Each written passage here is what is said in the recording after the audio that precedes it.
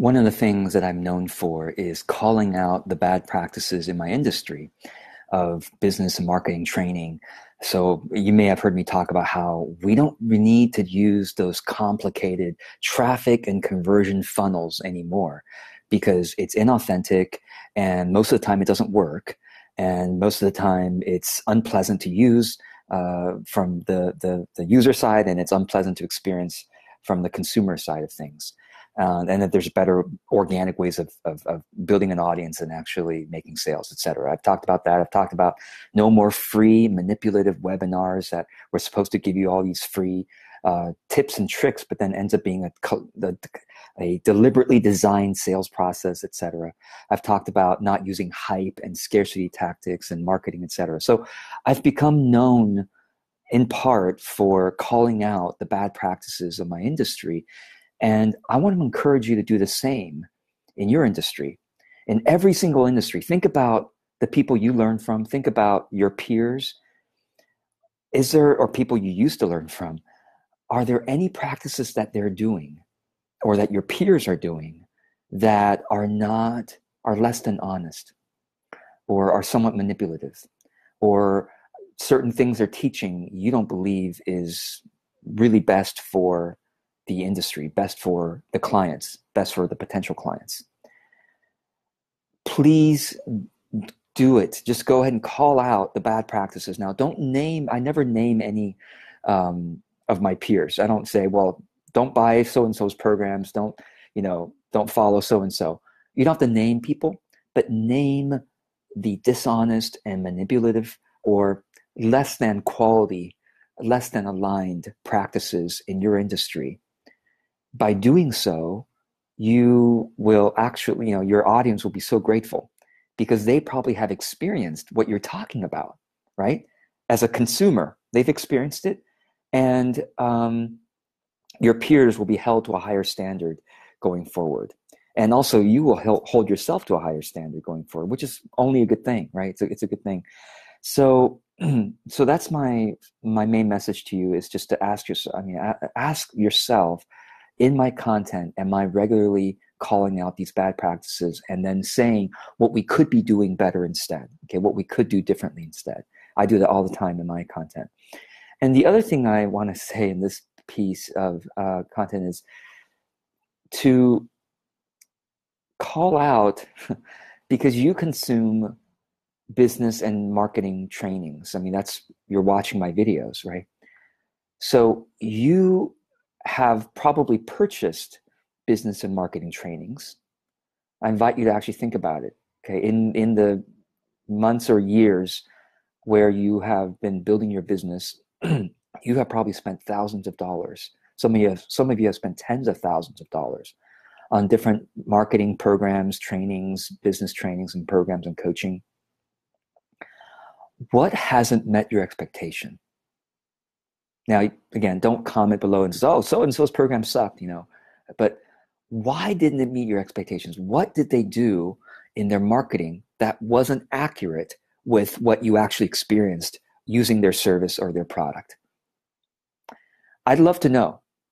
And by the way, if I ever make any promises in my marketing that isn't aligned with what you bought from me, please let me know. I honestly, I actually, um, uh, over the years, I occasionally get a refund request, and I'm always grateful. Well, I should say I, I always try to be grateful, um, uh, but I always learn something from those, whether in the moment or you know months later as I reflect back on, like, wow, yeah, that person was was true. That that I'm grateful for that person because probably other people didn't like the product and they never told me.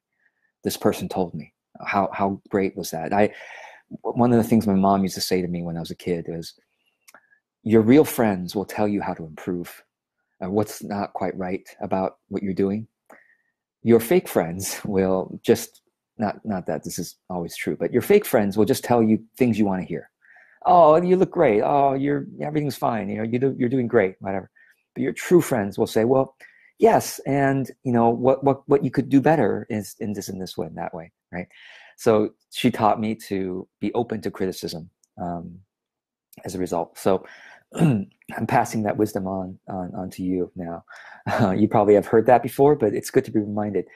And and I've also noticed that some of my some of my refunders become some of my best clients. This is really really true.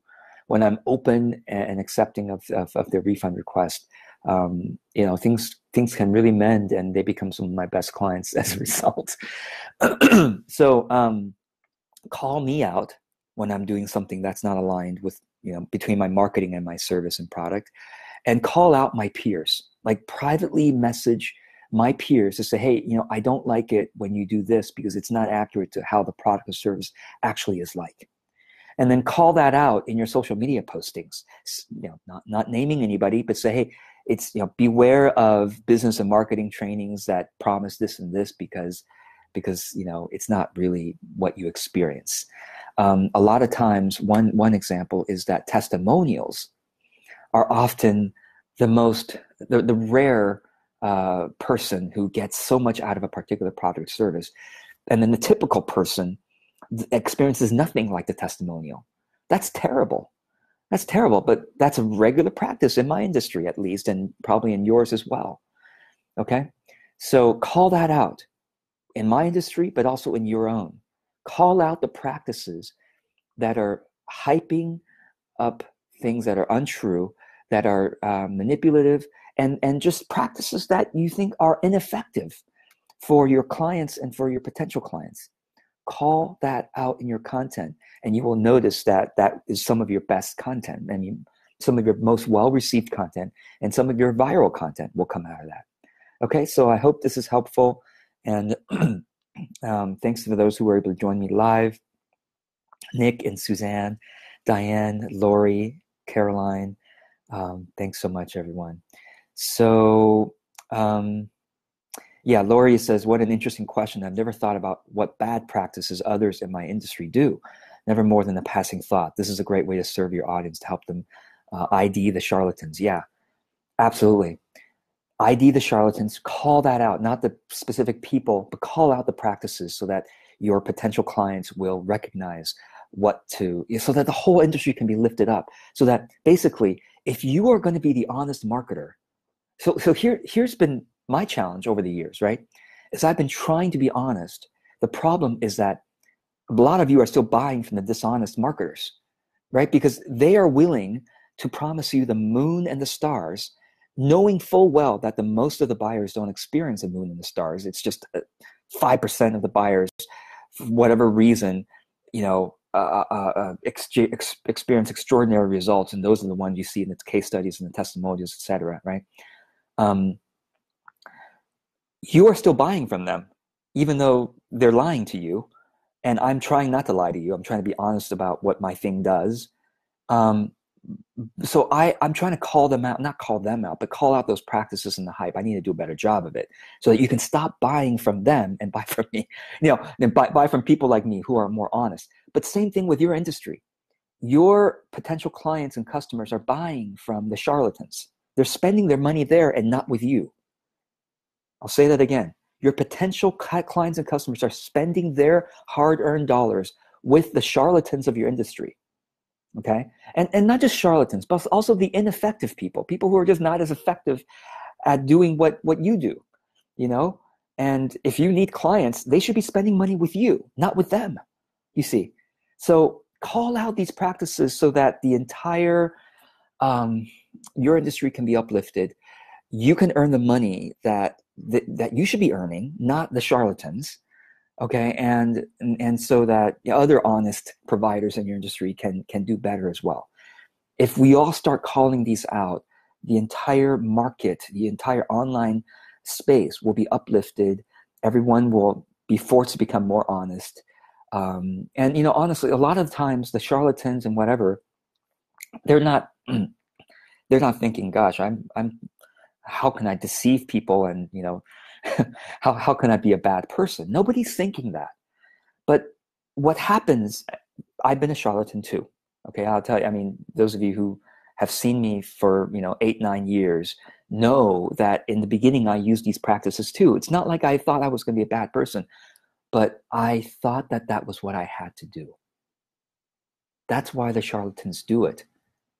It's they think they think they have to use these techniques because that's what you're supposed to do in marketing or in business or uh, this is all I was this is all I know how to do. That's all they know.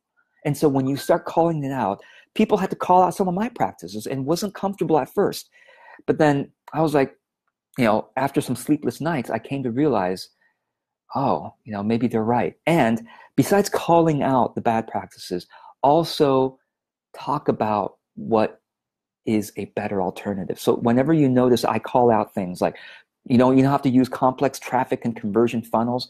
Do this instead. I always say, do this instead, right? Rather than just complain, also give a solution and model the solution yourself. Okay?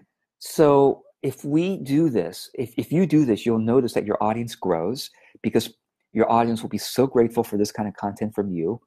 Um, and they will start to res- pay attention to your content more than the charlatans content. They will start to id who who the ineffective people or the charlatans are. And again charlatans were me at an earlier stage. It's not not that they're evil. They just need to see an alternative that's better. Then they need to see you model that better alternative okay? And call out that in your content all right? So anyway thanks for joining me uh, jen lori and alex and sharon and others who were um, able to join me live. And those who are watching, I welcome your comments below. Let me know what you think about this.